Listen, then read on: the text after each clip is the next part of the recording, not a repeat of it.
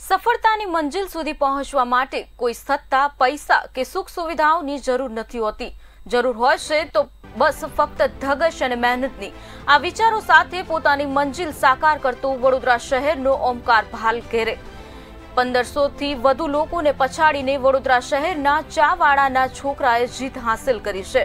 ઓમકારે ચેન્નઈ ખાતે યોજાયેલ king boxing ચેમ્પિયનશિપમાં ગોલ્ડ મેડલ પ્રાપ્ત કરી પરિવારની સાથે સાથે વડોદરા શહેરનું નામ રોશન કર્યું છે. અગિયાર ઓગસ્ટથી બાવીસ ઓગસ્ટ દરમિયાન વાકો ઇન્ડિયા કિક બોક્સિંગ ફેડરેશન દ્વારા જવાહરલાલ નહેરુ સ્ટેડિયમ, ચેન્નઈ ખાતે seniors and master national kick boxing ચેમ્પિયનશિપનું આયોજન કરવામાં આવ્યું હતું. આ ચેમ્પિયનશિપમાં વડોદરા શહેરના ચાનો વ્યવસાય કરતા સુનિલ ભાલઘરેના સુપુત્ર ઓમકાર ભાલેઘરે ગોલ્ડ મેડલ જીતી ગૌરવ અપાવ્યું છે. લાસ્ટ ટુ યરથી જોડાયેલો છું કિક બોક્સિંગમાં એના, એમાં મેં એક નેશનલ્સ અને આ બીજી નેશનલ્સ મેં રમી લીધી છે. અને ડિસ્ટ્રિક્ટ ડિસ્ટ્રિક્ટ અને સ્ટેટમાં મારા ગોલ્ડ મેડલ છે.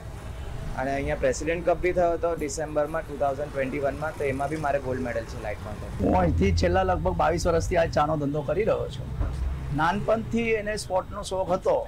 પણ નાનપણમાં એને બેડમિન્ટન ને એવું બધું હતું. પછી એના મગજમાં એવું આવ્યું કે ભાઈ કંઈ અલગ લઈએ ગેમ એના પછી એને કિક બોક્સિંગનું એ થયું.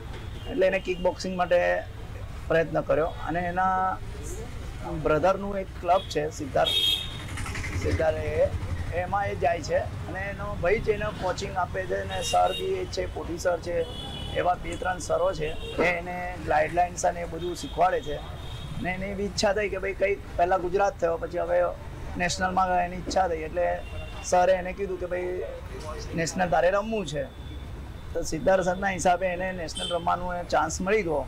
અને એની બી ઉમંગ હતી નાનપણથી કે ભાઈ કઈ સ્પોર્ટમાં આપણે નામ કમાઈશું. એના હિસાબે એને મળ્યું.